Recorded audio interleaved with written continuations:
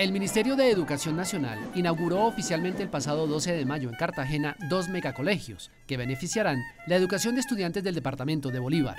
En esta zona, en donde estamos entregando hoy la institución educativa Rosedal y Mandela, la población la estaba exigiendo a gritos y hoy podemos decir que estamos atendiendo aproximadamente entre las dos instituciones 2.800 nuevos estudiantes en esta zona. La ciudad heroica ya cuenta con las instituciones educativas Rosedal, ubicada en el barrio El Ecuador, y Mandela, en el barrio Nazareno. Una particularidad que tenía Cartagena es la falta de una buena infraestructura física, así que estas dos obras nos van a permitir incrementar esa matrícula, es decir, que los niños que están fuera del sistema realmente puedan ingresar porque hoy en día tienen en dónde. Con la infraestructura física a disposición, ahora los estudiantes beneficiados de estos sectores de la capital bolivarense podrán demostrar sus capacidades.